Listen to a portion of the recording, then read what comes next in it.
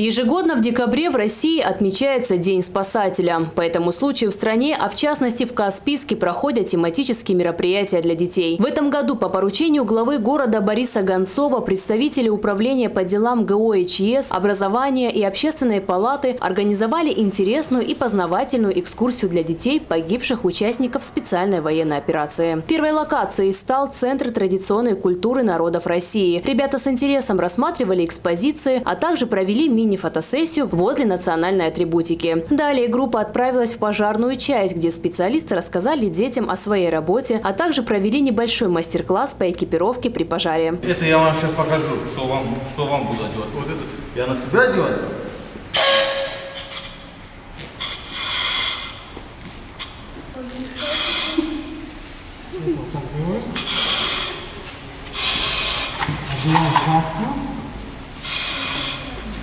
Это когда он заходит, видите, в задымленное помещение, когда невозможно дышать. Ребята знакомили и с единой дежурно-диспетчерской службой 112. Главный специалист по связям с общественностью и СМИ Управления по делам ГО и ЧС Каспийска Зульфия Багаудинова представила юным гостям сотрудников и рассказала о специфике их работы. Поступают звонки со всей республики, то есть не только Каспийск, но и с любого уголка нашей республики звонки приходят на 112.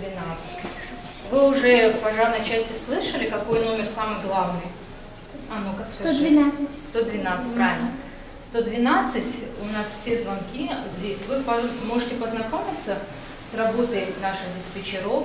От главы города и начальника управления Арсена Велиева детям погибших участников СВО вручили подарки, а также организовали обед и развлекательную программу в детском клубе.